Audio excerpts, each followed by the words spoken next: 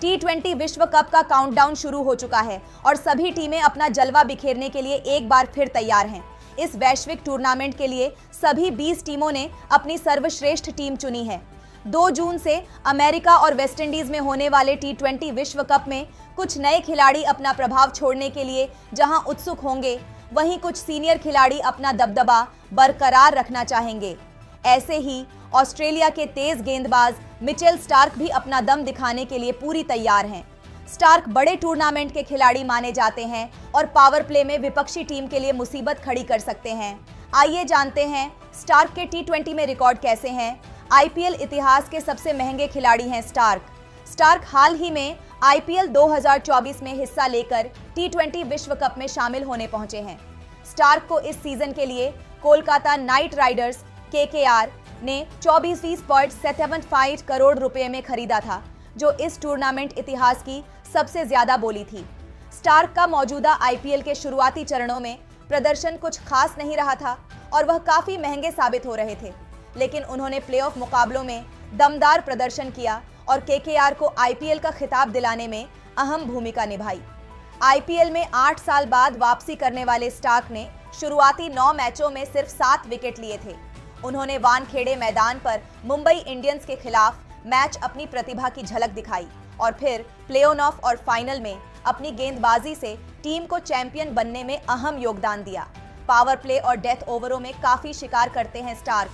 माना जाता है कि टी ट्वेंटी बल्लेबाजों का खेल है, जिसमें गेंदबाज के लिए ज़्यादा कुछ नहीं होता, लेकिन स्टार्क जैसे गेंदबाज उन खिलाड़ियों में शामिल हैं जो अपनी धारदार गेंदबाजी से किसी भी टीम के हौसले पस्त कर सकते हैं। स्टार्क का टी में रिकॉर्ड कुछ ऐसा है जो सभी टीमों की नींद उड़ा सकता है। 2022 से अब तक स्टार्क ने टी प्रारूप में कुल 50 से पाँच ओवर गेंदबाजी की है, जिसमें 810 रन देकर 31 विकेट झटके हैं। इस दौरान स्टार्क का इकोनॉमी रेट 9.4 का रहा है। फ़ेज़ के अनुसार देखें तो स्टार्क पावर प्ले और डेथ ओवरों 16-20 में स्टार्क सबसे ज़्यादा शिकार करते हैं जबकि मध्य ओवरों में उम्मीद के अनुसार विकेट नहीं ले पाते हैं। टी में 2022 से स्टार्क ने शुरुआती छह ओवर में 15 विकेट लिए हैं और उनकी इकोनॉमी रेट 9.0 की रही है। वहीं 16 ओवर के बीच स्टार्क ने 11.4 की इकोनॉमी से 11 विकेट झटके हैं।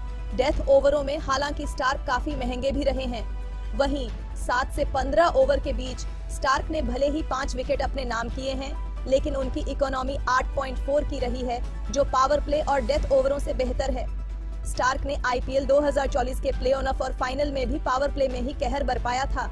ऐसे में भारत सहित अन्य सभी टीमों को उनसे सावधान रहने की ज़रूरत है।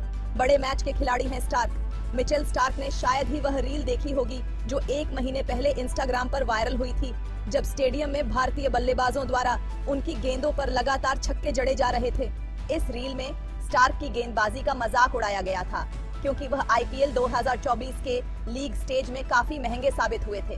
हालाँकि इस रील को बनाने वाले ये भूल गए थे कि स्टार्क बड़े मैचों के खिलाड़ी हैं और आईपीएल की नीलामी में उन पर इतनी बड़ी रकम इसीलिए लगी थी।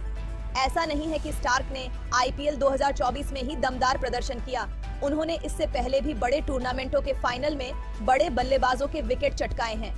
अब वह मेलबर्न में खेले गए 2015 वनडे विश्व कप के फाइनल में बेहद खतरनाक ब्रैंडन मैकुलम का विकेट हो या 2023 विश्व कप का फाइनल, जहाँ उन्होंने शुभमन गिल और लोकेश राहुल को चलता कर भारतीय बल्लेबाजी को बैकफुट पर धकेल दिया था।